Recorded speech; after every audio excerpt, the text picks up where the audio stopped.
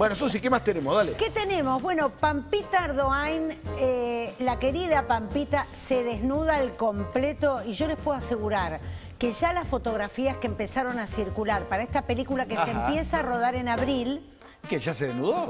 ya se desnudó porque, bueno, estamos con los ensayos, tampoco es que... Pero para, perdón, en los ensayos hay que desnudarse. Obvio, obvio. Vos en los ensayos lo que haces es una reiteración de lo que después se va a filmar. La cuestión que la película Desearás al hombre de tu hermana eh, o al marido de tu hermana será estrenada en septiembre de este año. Así que va a tener que un rodaje medio como veloz. Te hago una pregunta. eh, por la, que, la que iba a hacer una película hot es la otra, eh, la China Suárez, Sí. ¿o no? ¿Las dos hacen películas hot? No, esta ya estaba prevista desde el año pasado. Esta es la película que ella filmó con, para, para- la va a dirigir Diego Kaplan, eh, con Juan Sorini, con Andrea Frigerio, con ¿Él Mónica? Antonopoulos. ¿El, el galán quién es? El canal es Juan Sorini. ¿Y que es conocido este? Sí, es un actor conocido. Y ella, eh, pero estas son las fotos todavía más polite, ¿no? Ah, Yo ¿vos viste estuve algunas más hot? No, muy hot. Ellos están completamente desnudos. Y bueno, se dice que es una película hot también desde el título, porque esto de que vas a desear al hombre de tu hermana. Este, Qué feo eso, ¿eh? Sí, es muy feo. Además, viola un mandamiento, uno de los diez mandamientos. Entonces, promete ser un thriller y una película romántica. Se está filmando. Promete ser una, anti- una porquería. No lo sabemos porque los guionistas son los mismos que los del Hilo Rojo. Ah, ¿en serio? O sea que la historia va a estar seguramente muy bien escrita. Ah. Se va a filmar en Punta del Este, en Buenos Aires y en el norte de Brasil. ¿El director qué tal es? El director Diego Kaplan es el de dos, el de dos más dos. eh, no, es un director muy Ah, no, conocido. no es mal, eh, Que ha claro. hecho éxitos, o sea que no, no. No un- necesariamente va a ser una porquería. No, bueno, tampoco es que Pampita Ardoain es, yo qué sé, Meryl Streep.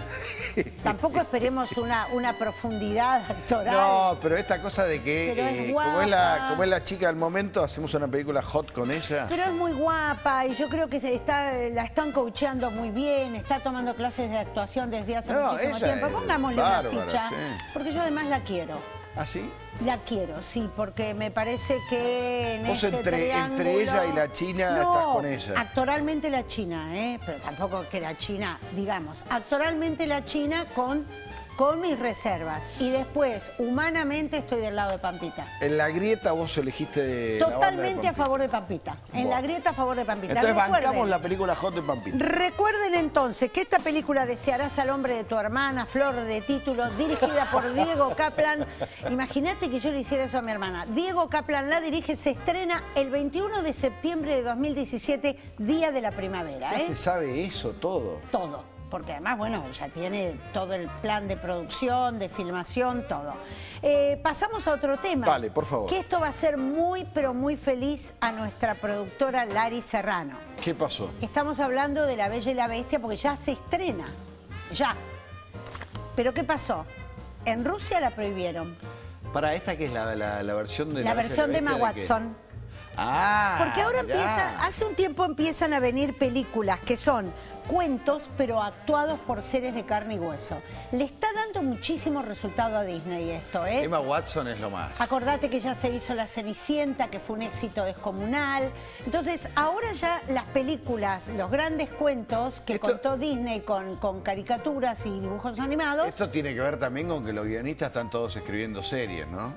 Están todos escribiendo series para Netflix, para todas las plataformas y, y a la para la película no consiguen guionistas, entonces agarran los viejos cuentos y los convierten en películas. Pero hay que tener creatividad para poder hacerlo y tener éxito en la Claro, taquilla. Porque verdad te digo, no en vano se llevó tres Oscar Disney en esta última oportunidad. ¿eh? O sea que tanto el año pasado como este año ha hecho producciones que son muy interesantes. Ahí tenés el libro de la selva. Hermosa, que siendo un cuento terminó siendo esa. también una película actuada de co- con actores de carne y hueso. Bueno, el tema acá, la noticia no es que viene La Bella y la Bestia, de la que ya hablaremos. El tema es que la prohibieron en ¿Por qué? Porque dicen que el personaje Le Fou tiene como un comportamiento homosexual con otro de los personajes masculinos de la película, que es su amigo Gastón. Esa cosa de eh, poner, homosexualizar personajes para, para mostrar eh, pluralidad de género y demás también es un poco forzada, ¿no?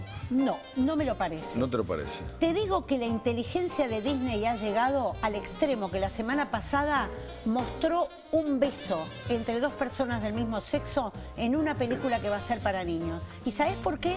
Porque empieza a ser una preocupación dentro de lo que es la literatura infantil, los guiones para películas infantiles, cómo presentar los nuevos temas que atañen a la sociedad. O sea, los chicos no son tontos. Los chicos ya saben que tienen compañeritos que tienen dos mamás, dos papás. Pero más vale que este, sí, pero... Esto tiene que estar si incluido. La, si la historia, el personaje no era homosexual, ¿por qué lo haces homosexual? No, pero yo no digo que el personaje principal sea homosexual. La, la bestia se queda con la bella, pero lo que te quiero decir es que el, el personaje tiene algún comportamiento que a los rusos les hizo ruido, viste que los rusos son de terror, el matrimonio homosexual está prohibido en Rusia y hay gente que ha sido detenida por expresiones de afecto en, la vía pública, la prohibieron. ¿eh? Ya hubo una petición que se hizo desde un partido político que se llama Rusia Unida, se le hizo esa petición al ministro de Cultura, parece que el ministro de Cultura va a decir prohíban la bella y la bestia. Vamos a ver qué dice Donald Trump. Bueno, se la pierden a Emma Watson.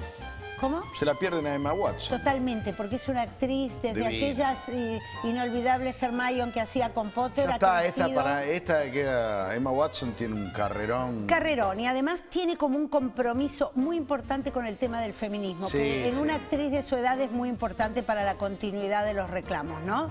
A futuro que mm, personalidades como ella puedan seguir levantando banderas de libertades que todavía no se consiguieron. Me encanta.